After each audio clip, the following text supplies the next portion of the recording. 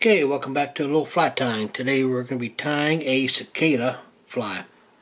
A lot of talk on the internet as of late about a big 17 year hatch coming up. Well, in my area, that 17 year hatch was just a couple years ago. Different regions have different hatches, and so in western Pennsylvania, I wouldn't expect to see a bunch of cicadas this summer and spring, spring and summer.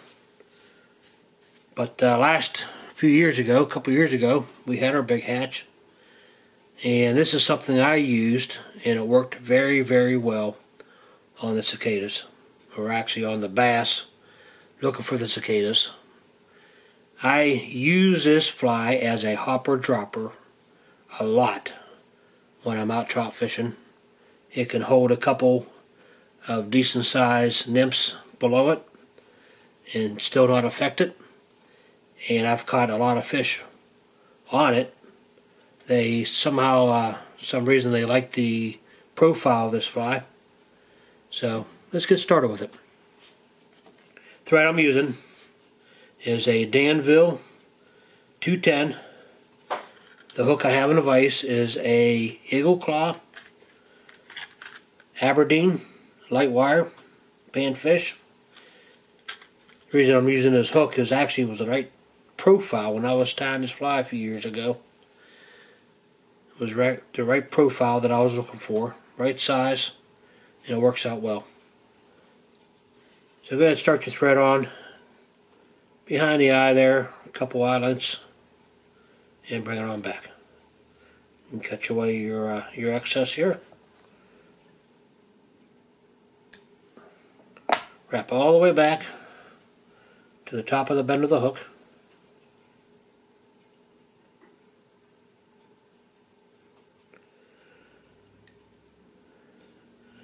And here we are going to add a rear set of legs. What we're going to use is just this crazy legs from Hareline. It's a brown orange flake is what they call it. One of these strands is enough to do one fly. What I do, I cut it in thirds. So take a section of your crazy legs. Measure out the length that you need.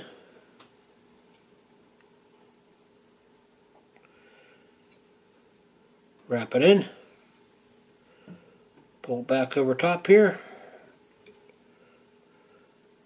Go ahead wrap it back all the way to the top of the bend of the hook here.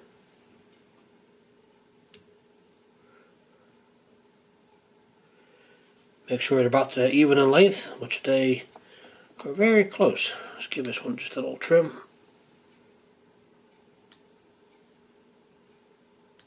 About like that. Now we're going to add a little dubbing. Dubbing I'm using is this Royal Sissy Super Fine.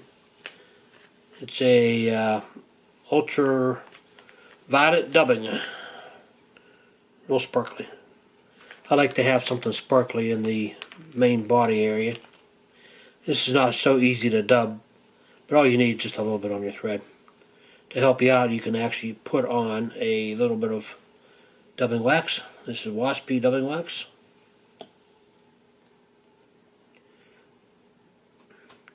Just lay it basically on your thread like that and spin it right around it. You want this actually a pretty tight dubbing noodle. Reason being is you're going to add a little super glue to it. Start backwards, all the way back to the base of the tail there, and bring it back up frontward. See some bra, black thread on it, uh, don't worry about it. Ain't going to hurt nothing. Do the same thing again. It right on top of the thread. Dub it on. When you're dubbing, just go one direction only. Bring it back up front. You're going to go about three quarters of the length of the hook shank. We'll go just a little bit more than that. Probably ain't gonna need it, but I think a little more won't hurt.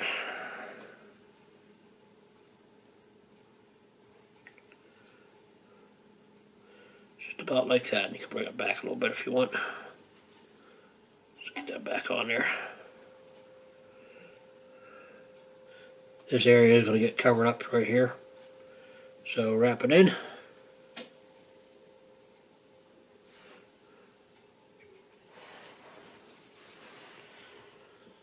See how that looks. Don't worry about that black thread. It's going to be all pretty much covered up anyway. You're just going to see a little bit of green flash on the bottom of the fly. Okay. To this point, you're going to add your first layer of got your hair everywhere of foam craft store foam this is three millimeter a little thicker than the two millimeter stuff you can use two millimeter millimeter but I uh, I like this three I got it at a craft store should have bought more craft stores went out of business and I bought a bunch It's made by Darcy 3 millimeter. Here's the size of the sheet there. It's 11 by 17 or so, give or take. This sheet is enough to do dozens of flies. And what I do is I cut them into half inch strips. And this is after I've been working on a few flies here. You're gonna put about you know that many and that long so one of these strips will do about three flies. So you have a few dozen flies out of one one piece of foam. So we're going to start with on the hook shank, to wrap up the thread a little bit, a couple times. And we're going to add a little bit of super glue. Don't get too crazy here. You're going to get sticky fingers if you do. You just want to have a little bit right on top of the dubbing. Right on top of your thread. Just a little dab to secure everything. That Aberdeen hook is a size 4. I don't know if I told you that or not. On the end of your foam strip. Just go ahead and cut it down to about, not a point, but like that. Lay your first bring your thread back up to oh, about one eye length behind. Lay your foam strip right on top and bend it down, pinch it down over. You're going to tie it in. These are your first series of ties right here. A couple good solid wraps. And you're going to bring it back. You're going to eyeball it to about here.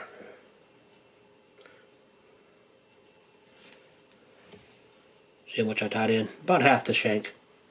Maybe a little less than half the shank, about uh, about one third of the shank of the hook.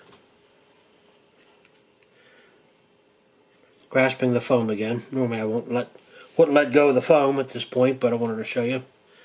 Grasp the foam again and wrap it back up forward here.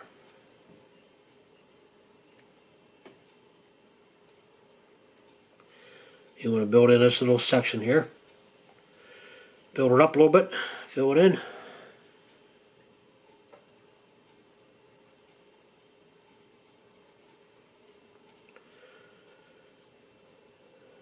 Looking at the cicada head, it is black when it's a full-grown adult. It's brown at first, then it looks like it turns black. When we had our big hatch in the past, I studied them pretty good, looked at them, and come up with this. Alright, now you got uh, all wrapped in, looking pretty good. Take your foam and cut it right at where the tail, or not the tail, where the rear legs start there. Straight across, just like that. So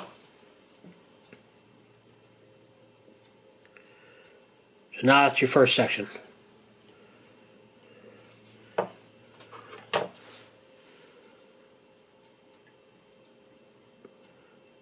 you don't matter that much, it just bothered me a little bit. Alright, first section of, of foam. Now we're going to do another section, and then we're going to repeat a little bit of super glue again. This super glue is all going to, it's going to secure it once it all settles in. Just a little dab again right on top of your thread, not very much. right on the base of your foam. Don't put it up here because I want that to be separate from your bottom or your top piece of foam. So, bring your thread to the middle of your thread wrap there. You want to pull forward about one half of the shank of the hook because you're going to bend it back like this. So, right about here, give it a pinch, give it a good tight wrap. Thread I got is at uh, 210 denier Danville, so it uh, it's a good good thread to yank on here, pretty tight. I was using a little lighter denier in the past and was breaking it. This 210 works out pretty well. How's that look? It looks pretty good. Alright.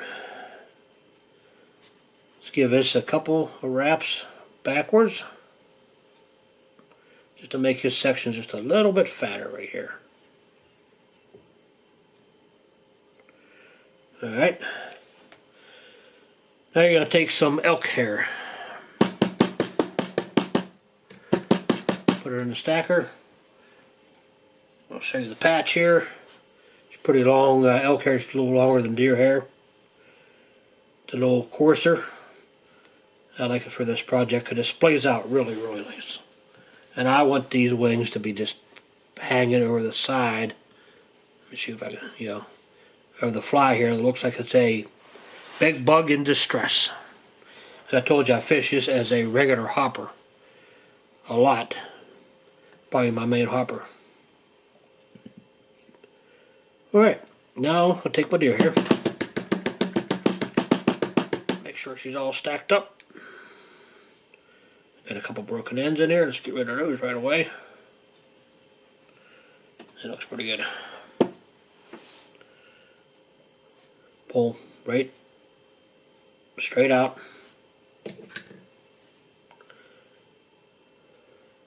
Make sure you get all There's a rogue hair in there. I don't know if you can see that guy or not. I'm going to pull him out.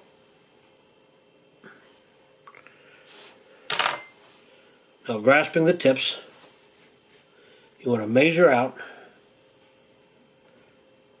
from where the bottom piece of foam is, just past it. So grasp the tips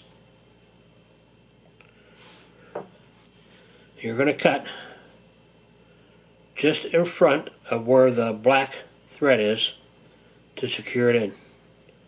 So over top the garbage can,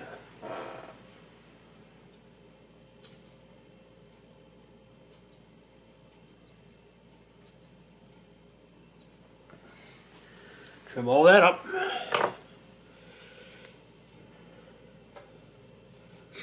Make sure it's all cleaned out. Basically you end up with something like this here, just a little little chunk left over.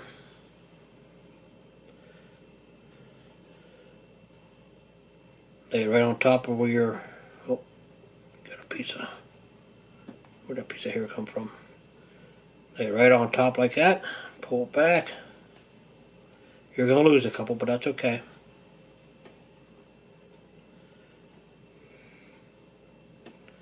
Wrap it in real good.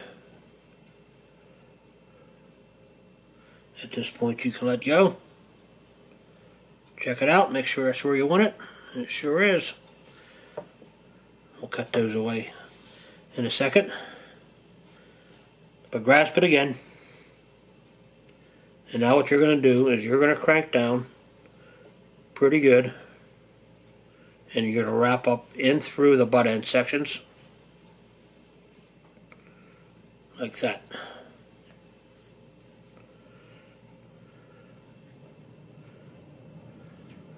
Once you're satisfied you got a nice secure wrap, take your fine point scissors and cut away your butt end sections here as closely as you can.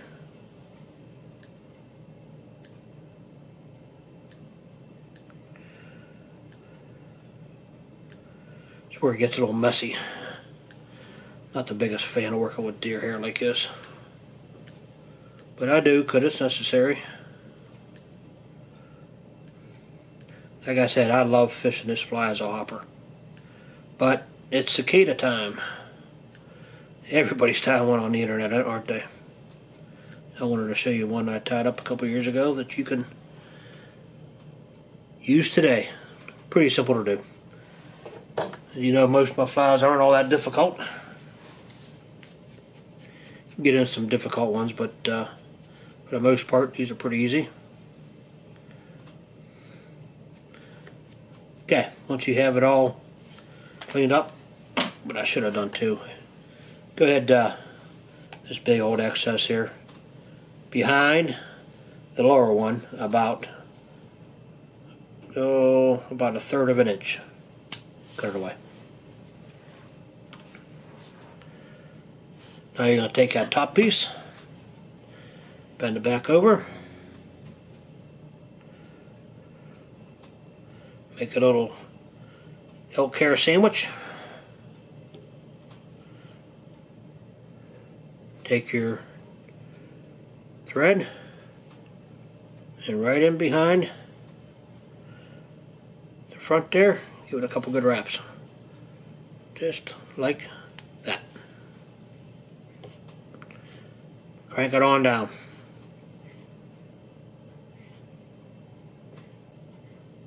There we go. Everything looking here?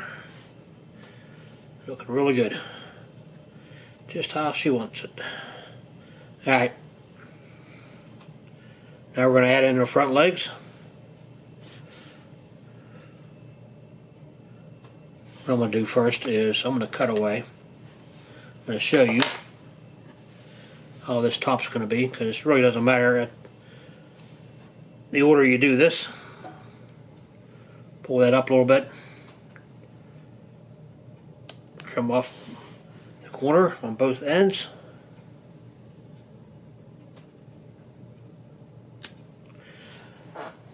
Got a little point. And you're going to trim off the top, this, the longer one. Don't cut any deer hair off. Just cut off the tips. Just kind of want to round it off a little bit. About like that. So when it sits in the water there, you got a little bit of a profile. On the bottom, just cut the corners off too. Just the very edges, uh, edges of them. Like that. Here's a profile all the way around.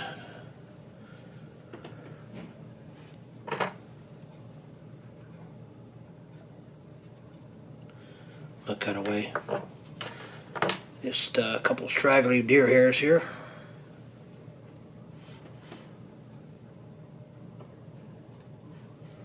Like that. One more. Like that. Here we go.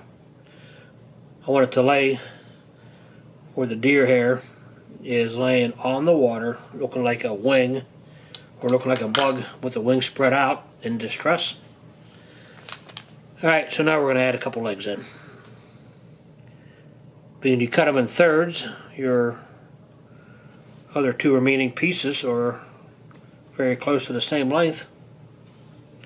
So you shouldn't have to trim them up. Add right alongside the body there. Give it a wrap. Adjust it for length. Should be about even. Give it one more there. The cicada head is black, that's why I'm using black thread as an adult cicada.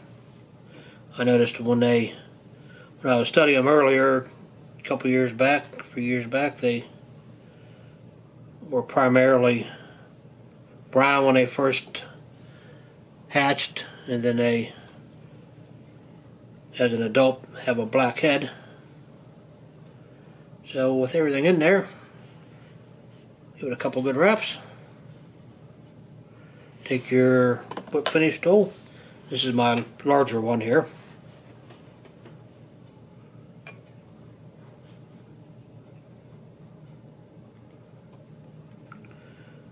Give it a couple good whips. Try not to trap the legs.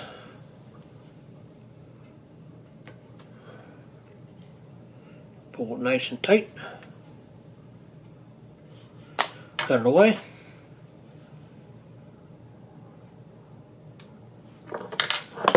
Oops. See how everything looks here. Alright, so now what we're going to do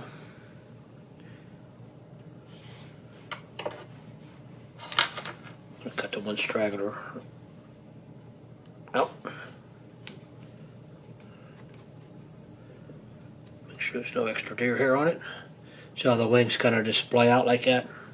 So when it's on the water, these touch the water and it looks like it's a bug in distress. I'm going to add some Sally Hansen's. I'm going to cover up all this thread. And once the Sally Hansen's cures, your foam doesn't move around anymore. Stays real secure on the hook.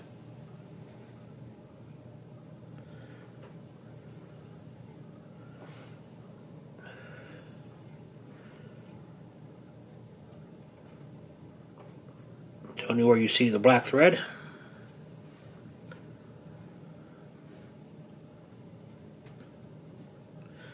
What I uh, use a lot too is a copper thread, copper color thread. Let me show you here. This is my pretty much my summer looking hopper.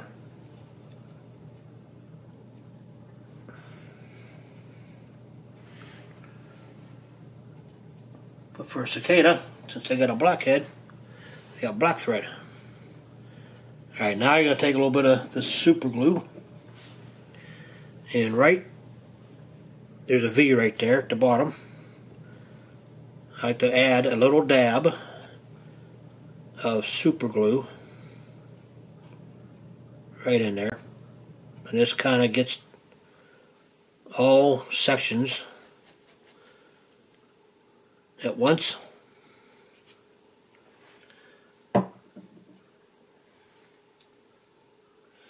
Show you here. This fly basically is the same thing, except for I put a little uh, pink on the bottom. But you can crank on this body and it won't move. Okay. There you go. You have a cicada fly that I put together a few years back, a couple years back, for my uh, local cicada hatch, and it worked out well. Mostly for bass is what I was using it for, but it, like I told you, this is my primary hopper dropper holds a couple good sized droppers. Doesn't go under. It's a great indicator. And fish love it too. And I hope you like it too. Alright, if you uh, like this fly, give me a like, subscribe, all the other good stuff. And tie one up. Take it fishing. Get ready for your local cicada hatch. Stay safe out there, and I'll see you next time.